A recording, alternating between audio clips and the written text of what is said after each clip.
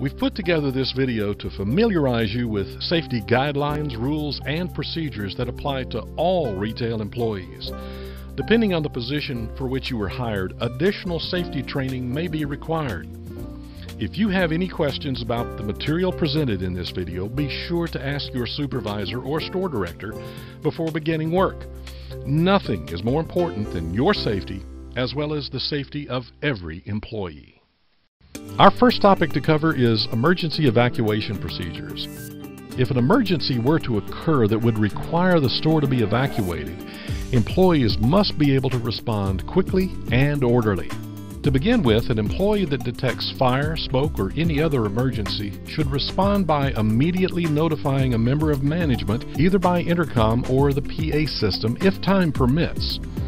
The manager will be responsible for making the decision whether or not to evacuate the building.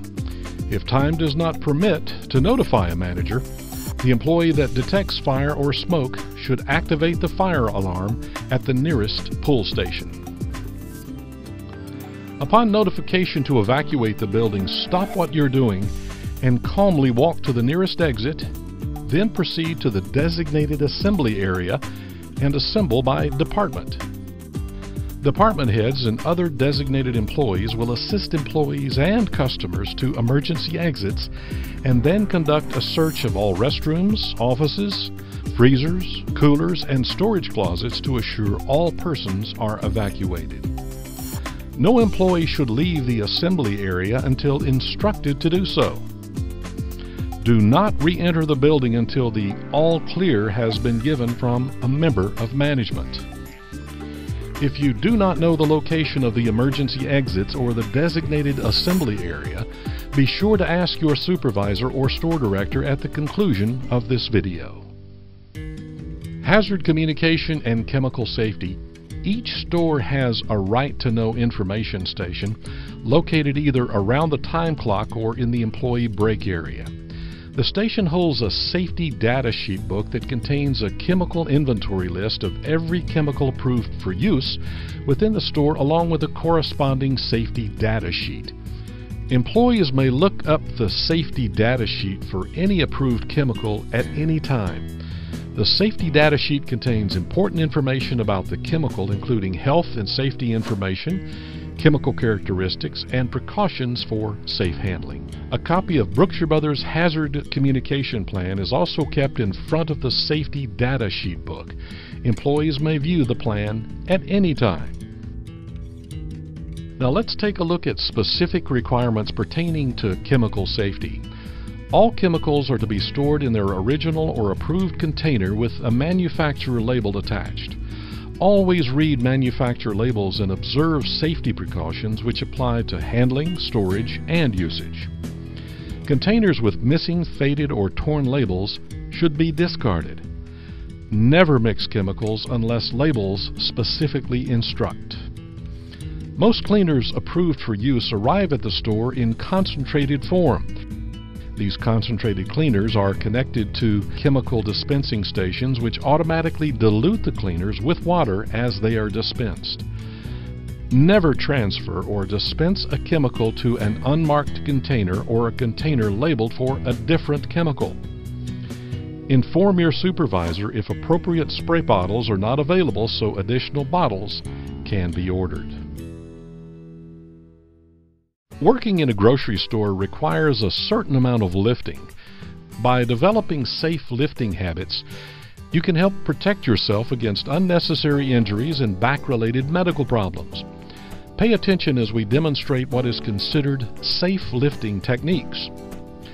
Stand as close as you can to the load with your feet spread apart about shoulder width. Squat down bending your knees, not your waist. Keep your back straight. Get a good grip with both hands before beginning the lift. Begin slowly lifting with your legs, not your back. Keep the load close to your body to reduce the force on your back. If you must turn while carrying the load, turn using your feet, not your torso. It is equally important that the load is set down correctly. The same procedure should be followed in reverse order when setting down the load. Lastly, always ask for help if an item is too heavy or bulky to safely lift alone, and never attempt to lift anything you do not feel comfortable lifting. Our next topic is ladder safety. Before using a ladder, always inspect to make sure it is safe to use. Inspect the rubber feet, spreaders, and steps for damage or defects. If a ladder does not pass inspection or appears unsafe in any way, report it to your supervisor and do not use it until it has been properly repaired or replaced. If dirt, oil, or food scraps are present on the steps, be sure to clean prior to using. Before climbing onto the ladder, make sure the legs rest on a level surface and it is steady. Use both hands when going up or down the ladder. If you need to retrieve supplies from a shelf or other surface, hand the items down to another employee. Never stand on the top platform or the step next to it. When working on a ladder, always face the ladder.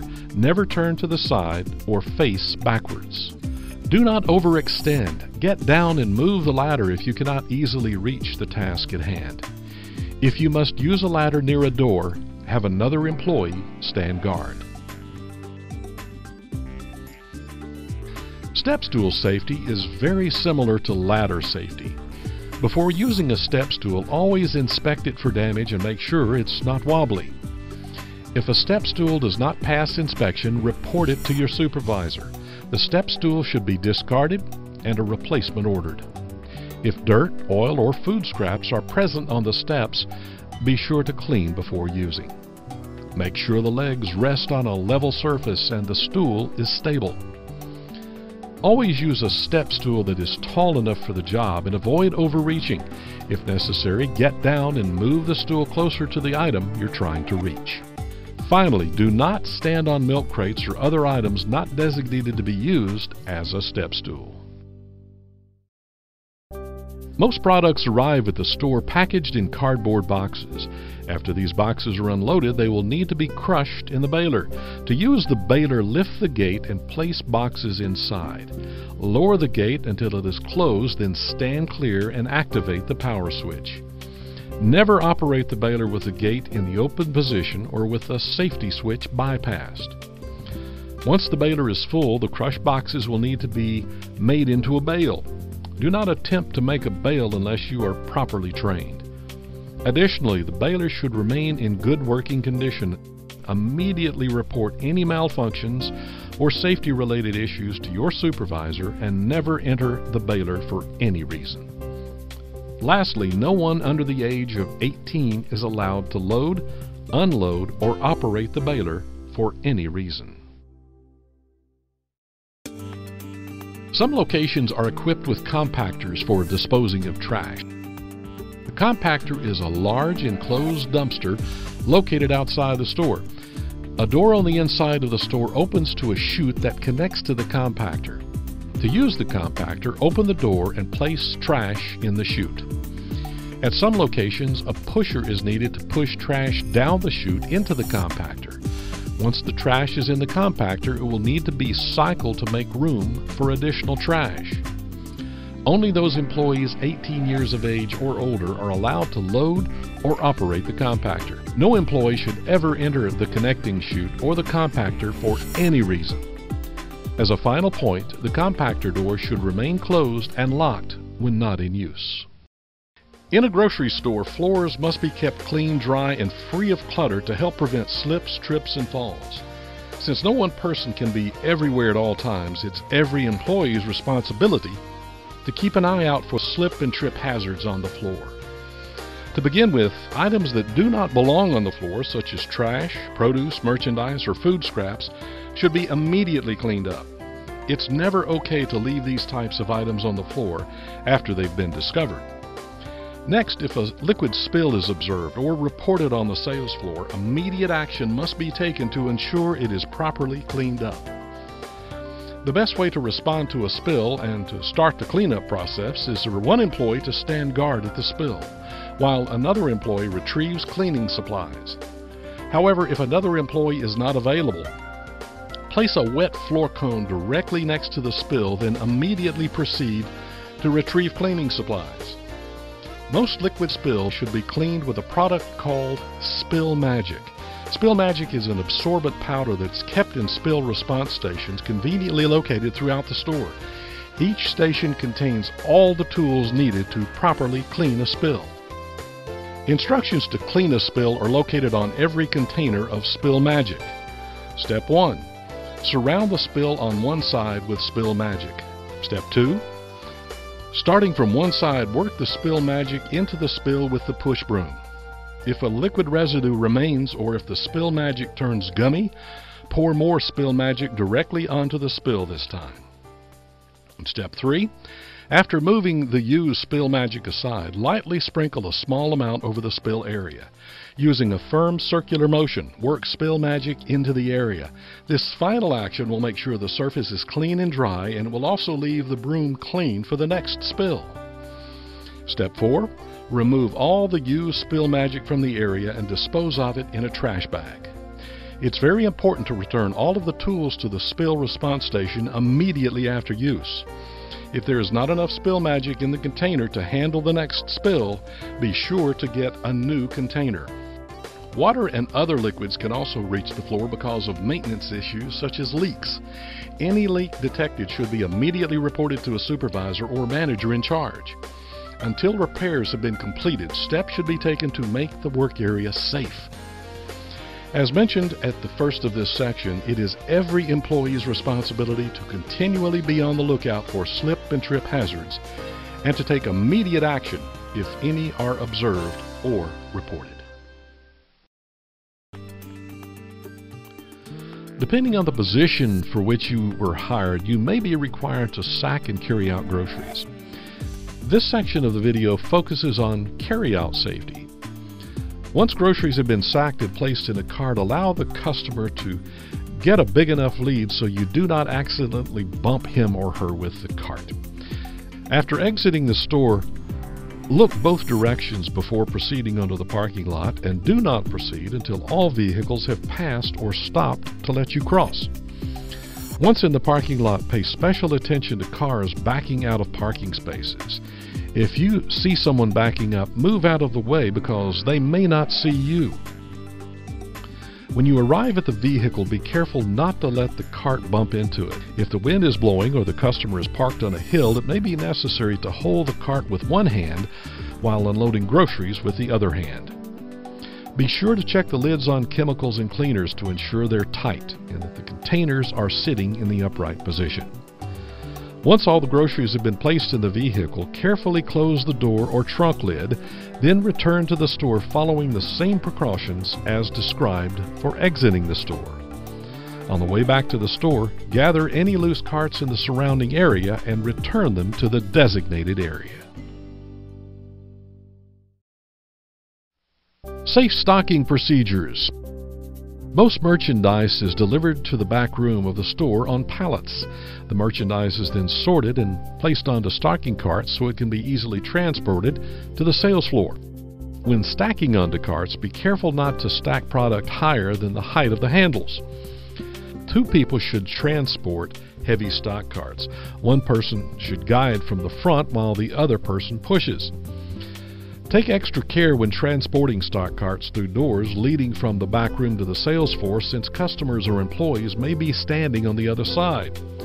Carts must be pulled and not pushed through the doorways. Once on the sales floor, always attempt to park carts out of the way to prevent customers from reaching around or trying to climb over. Merchandise should be worked directly from the stock cart and should not be spotted on the floor. Boxes lying on the floor increase the risk for a trip and fall. When opening or breaking down boxes, only Brookshire Brothers issued box cutters are approved for use. A shopping cart or stock cart should be kept nearby to place empty boxes and other trash. Never place empty boxes or other trash on the floor. As soon as the last box has been removed from the stock cart, it should be pushed to the back room. Empty stock carts should not be left on the sales floor for any amount of time. Certain types of products are approved to be brought onto the sales floor and stocked directly from pallets. When doing so, special precautions must be taken to never leave empty or partially empty pallets on the sales floor unattended. Empty pallets should be immediately carried to the back room or dock area and stacked in the designated location. Brookshire Brothers strives to maintain a safe and healthy workplace free from recognized hazards that can lead to injury. However, if you do become injured while on the job, it is your responsibility to report the injury to the store director or manager in charge within 24 hours, no matter how minor the injury. This video is not intended to convey all aspects of the Brookshire Brothers Safety Program. Additional information is provided by the Employee Owner Orientation and Information Guide that was given to each employee at the time of hire. Also, the entire safety program is contained within the Brookshire Brothers Retail Safety Plan. You may request a copy of the plan from your store director or by contacting the Risk Management Department at the corporate office. This concludes our video, and remember, safety is up to you.